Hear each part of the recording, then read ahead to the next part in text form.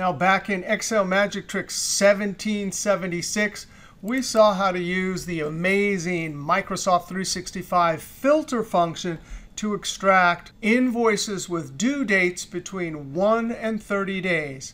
In this video, we want to see how to do it with Power Query.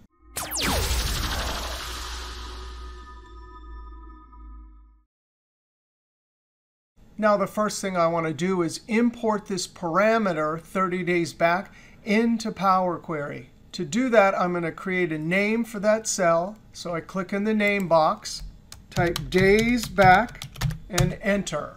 Now with that cell selected, I go up to Data, Get and Transform, and click From Selection. In the Power Query Editor, I want to right-click the number 30 and click on Drill Down. That creates the correct formula and step to extract the number. Now we can use this number in our other query. Now go to Home, Close and Load, Close and Load to. Only create a connection. We're only using it inside the Power Query Editor. Click OK. I can see the query over here.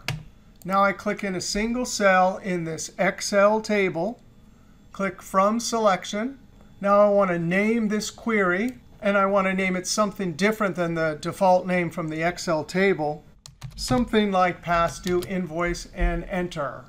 Now we go to the date column and click the amazing filter option, date and time filters, and we're going down to in the previous. It says is in the previous, and so far the default is days, which happens to be correct for us. I want to type 30 for the time being and click OK. If we look up in the formula bar, table.selectRows filters our table. And sure enough, it used date is in previous. There's the name of the field. And instead of that 30, I'm going to double click and type the name of our query, dates back. Hopefully I spell it right and enter. Of course, it's polite. It's days back and enter. By doing that, it links the results here to that number back in the worksheet cells. And that's it. Now I click Close and Load, Close and Load to. I want it as a table on the existing sheet. I'm going to put it in G4, click OK. And that's it.